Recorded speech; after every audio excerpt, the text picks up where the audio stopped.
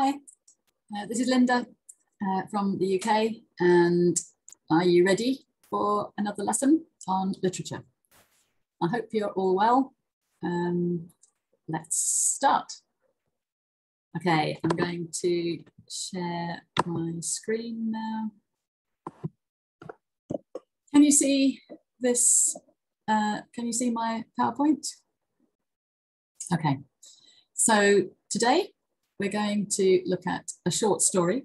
We're going to read a whole story and do some other things with it. Okay. So first, can you remember the poems in the first week or the story we looked at last week?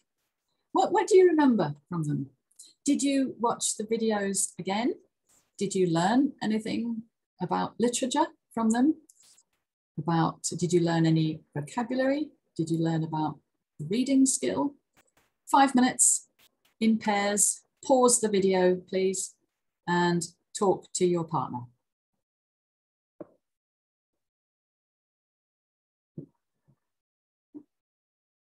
Okay.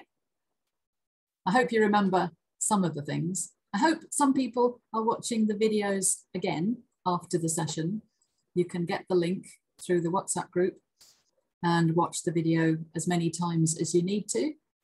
Um, and if you have questions, please put the questions in the WhatsApp group and I'll answer them later. Okay. Ready for this week's lesson? Right, it is this time, it's a short story, a whole short story.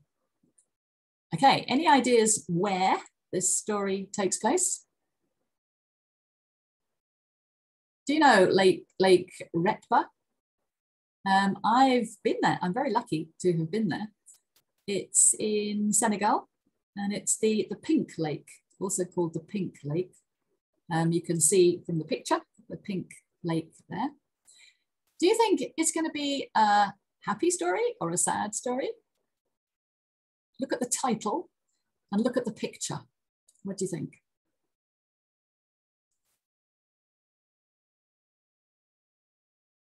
Okay, I want you to talk to your partner about what you imagine the story might be. Look at the title, look at the picture, pause the video, five minutes to discuss the story, okay?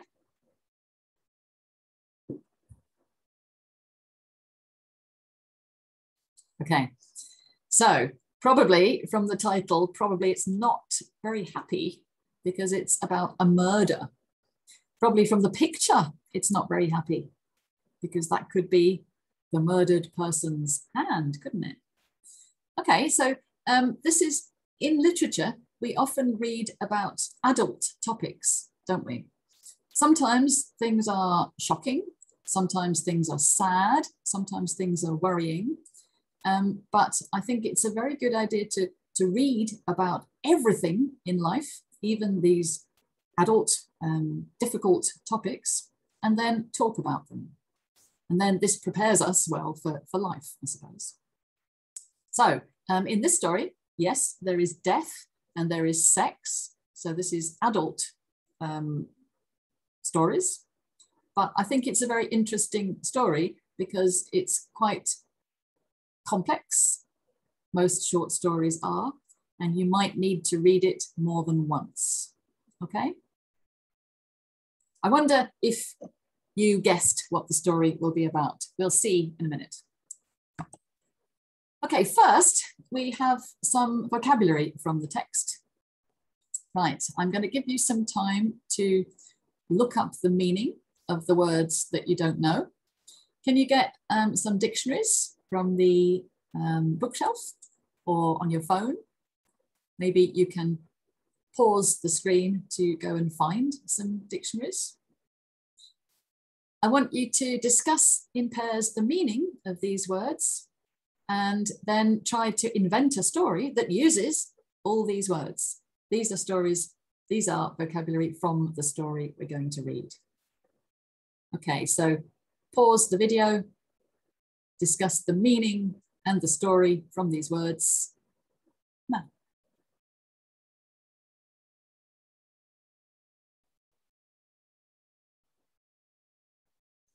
Okay. Did you agree on the meanings of the words? It's really good before you do readings with um, students that they understand the key words, the main words that might stop them understanding the whole story.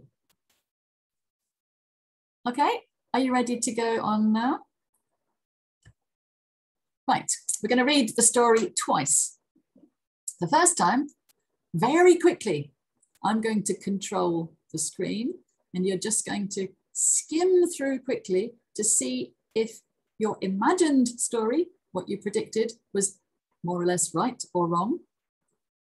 After that, you're going to read the story more slowly, pausing the video. Then you can understand more about the whole story and the characters. Okay, so first time, don't pause. There are six, sorry, seven slides of the story.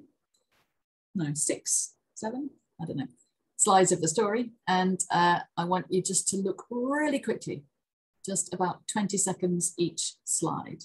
See if you can skim through without reading every word. Are you ready? First slide.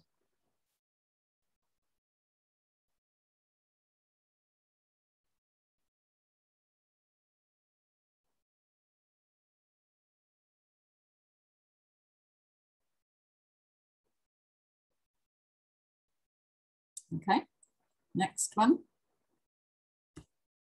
Not two, second slide.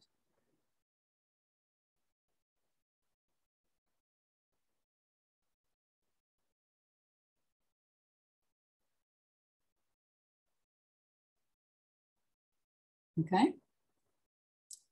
Next, part three.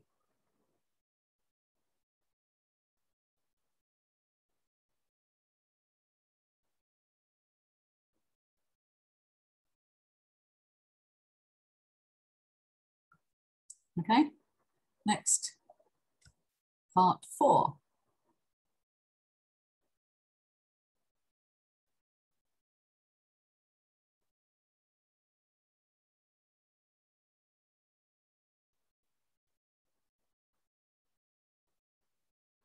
Okay,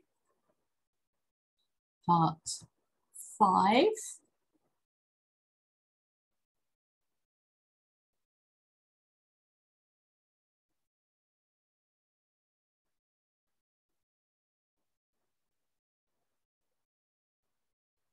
Next, part six. And that's the last part.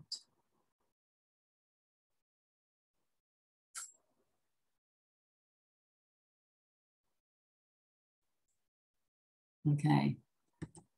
Okay, that's a lot to read quickly, I know. But was it what you predicted? Was it what you thought the story would be? If it's a murder, did you find out who murdered who? Who was the murdered character?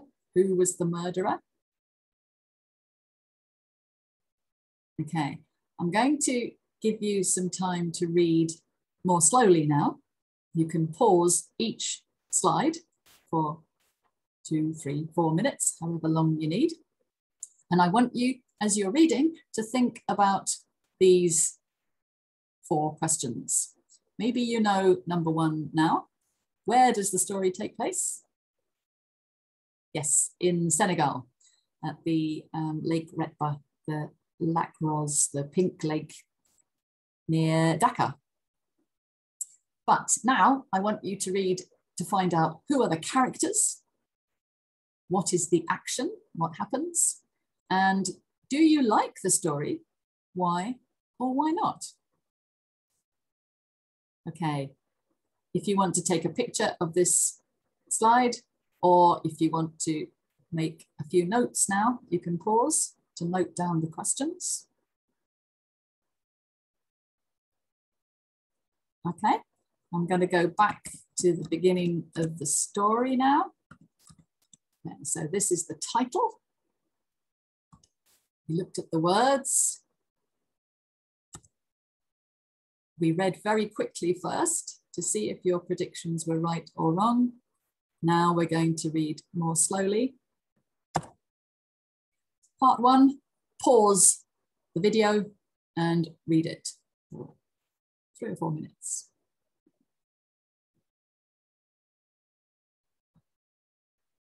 Okay, now part two, pause the video.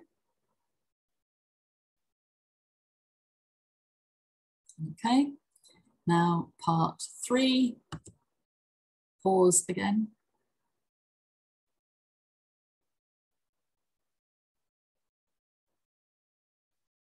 And part four, pause now.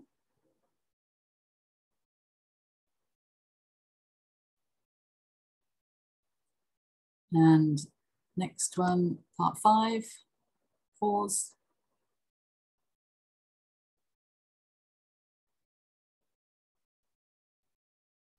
And part six, pause now.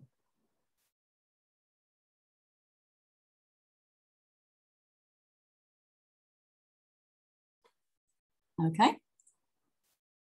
Okay, did you find out who was the murderer? What do you think? Okay, so now you can discuss those questions with your partner and you can pause to discuss them.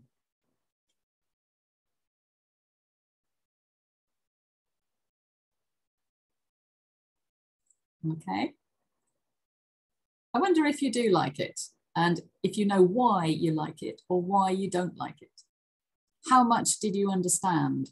It's really useful to talk about what you read so that you can get somebody else's opinion and other people can help you understand things. It's quite complex. You might want to read it again. Okay, your homework is to write a summary of the short story in less than 50 words. If you want to, you can do that now. You can pause the video, stop the video, and work with a partner to write the summary. That's the end of this lesson. And I just want to show you that this lesson is also, I can't find it now. This lesson also comes from the New Internationalist website. So you can see that. Did you read any from the New Internationalist website last week for your homework? Okay, let me share the screen now.